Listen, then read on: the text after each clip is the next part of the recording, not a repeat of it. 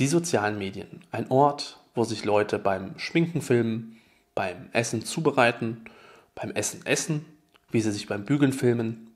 Und das Ganze nennt sich soziale Medien. Dabei kann es doch so viel mehr. Wir können mit diesen Videos Hunderte, Tausende, sogar Millionen von Menschen erreichen. Und wir nutzen dieses Medium, um uns bei alltäglichen Dingen zu filmen und das der Welt zur Schau zu stellen.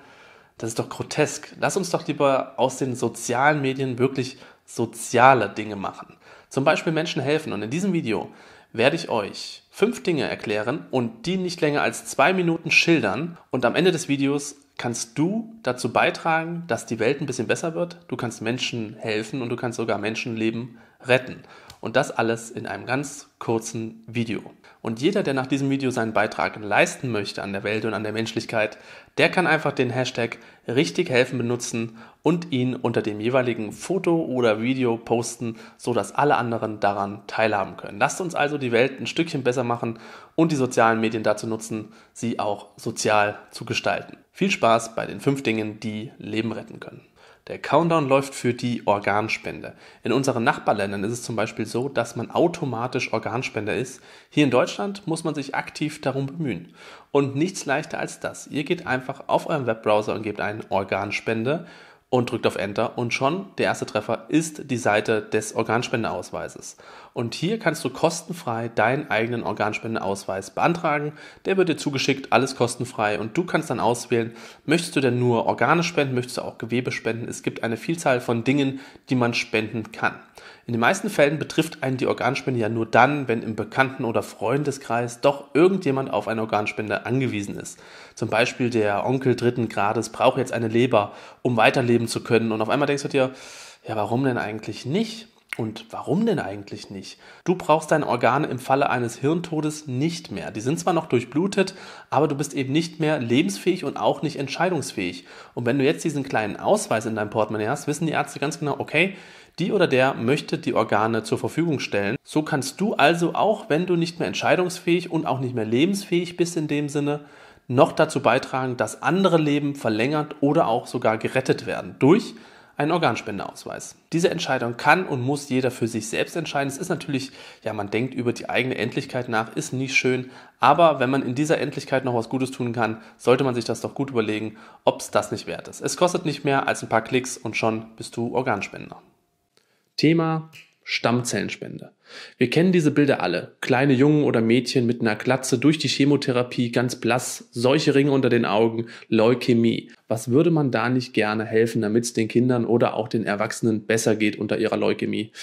Aber uns sind ja die Hände gebunden. Mitnichten, nichts ist einfacher als Stammzellen zu spenden bzw. sich zu registrieren für eine Stammzellspende. Auch hier nichts einfacher als das. Man geht einfach auf seinen Webbrowser, gibt einmal eine Stammzellspende und kann sich dann eine Datenbank quasi raussuchen. Da gibt es diverse und je nach Gusto kann man sich da eine raussuchen. Die sind alle gleich gut. Bekommt dann einen so einen netten Wattetupfer.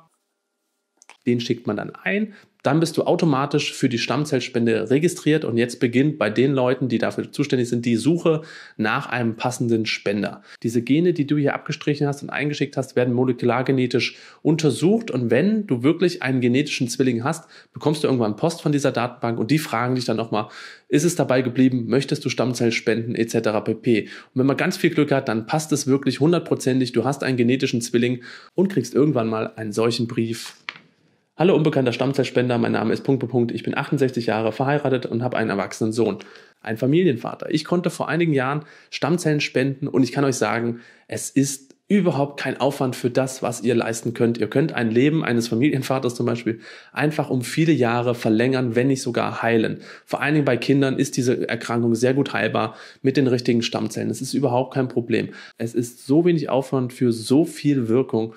Und man kann immer wieder einen Rückzieher machen. Aber glaubt mir, wenn da irgendwann mal die Post kommt und sagt, da gibt es einen potenziellen Empfänger, dann macht ihr keinen Rückzieher mehr. Dann denkt ihr, okay, ich kann richtig helfen mit ein bisschen Pieksen, mit ein bisschen Blutentnahme und schon habe ich ein Leben vielleicht sogar gerettet. Also Stammzellspende jetzt registrieren. Ich mache euch mal meinen Link, wo ich mich registriert habe, unten in die Infobox. Und dann lasst ihr euch registrieren und schauen wir mal, ob da jemand Glück hat. Blutspenden. Blut rettet Tag für Tag für Tag in großen und kleinen Kliniken Menschenleben. Und Blut kann man nicht einfach so herstellen. Das wächst nicht auf Bäumen, sondern wir müssen für andere Menschen etwas abgeben. Wir müssen Blut spenden. Junge, gesunde Menschen haben genug Blut, um davon ein bisschen was abzugeben. Und es kostet nichts mehr als ein bisschen zeitlichen Aufwand. Ansonsten, es kostet nichts. Es kostet uns lediglich ein Pieks in den Arm und schon kann man Leben verlängern und Leben retten. Ja, aber wo kann ich denn Blut spenden und das dauert ja viel zu lange und keine Ahnung. Auch hier nichts einfacher als das. Ihr geht in den Webbrowser, gebt ein Blutspenden plus die Stadt, wo ihr herkommt und puff, bekommt ihr sofort die ersten Treffer, wo ihr am nächsten Blutspenden gehen könnt. Und zeitlich, ihr bekommt es vor der Arbeit hin, ihr bekommt es nach der Arbeit hin, ihr bekommt es irgendwann zwischendurch mal hin. Es ist auf jeden Fall Zeit, diese eine Stunde zu investieren, um Blutspenden zu gehen. Eine Stunde deines Lebens für viele, viele Jahre vielleicht für das Leben eines anderen.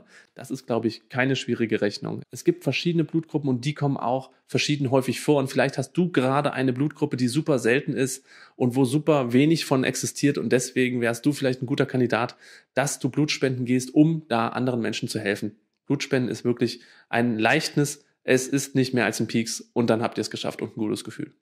Soll ich euch was sagen? Wir hatten alle einfach nur Glück. Wir hatten einfach nur Glück, dass wir da geboren sind, wo wir geboren sind, mit einer Schulbildung, mit einem Gesundheitssystem, was wirklich seinesgleichen sucht, mit einem Dach über den Kopf, mit einem warmen, weichen Bett.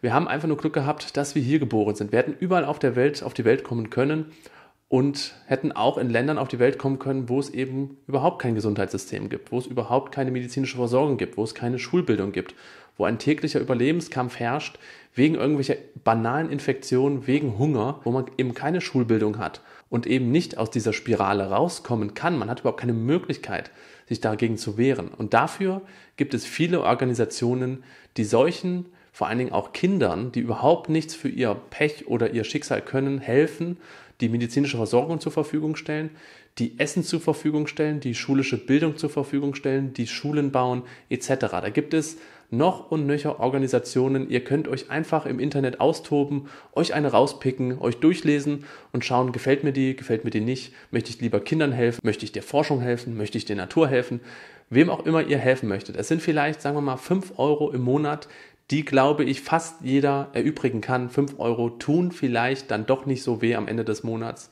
5 Euro sind in dieser Welt wirklich nicht viel Geld. Und in anderen Ländern ist es fast ein Vermögen. Damit kann ein Kind vielleicht eine Woche lang warm ernährt werden oder Schulbildung erfahren. Also für welche Organisation ihr euch auch immer entscheidet. Es ist auch völlig egal unterm Strich, denn ihr könnt einfach mit ein bisschen Geld helfen, anderen Menschen ein bisschen was von dem Glück, was wir hatten, abzugeben. Und den letzten Tipp, den ich euch geben möchte, es ist mehr eine Bitte. Bitte teilt dieses Video mit allen, die ihr so kennt oder denen es helfen könnte. Es heißt soziale Medien. Also lasst uns auch soziale Medien daraus machen. Und wer mich und meine Videos kennt, der weiß ganz genau, ich bin nicht auf den großen Fame aus oder auf den großen Erlös, nicht das große Geld, aber ich bin auf Reichweite aus, um eben viele Menschen zu erreichen, um eben viel helfen zu können. Und es ist heutzutage so leicht, viele Menschen zu erreichen und vielen Menschen zu helfen. Wir müssen sie einfach nur richtig anpacken.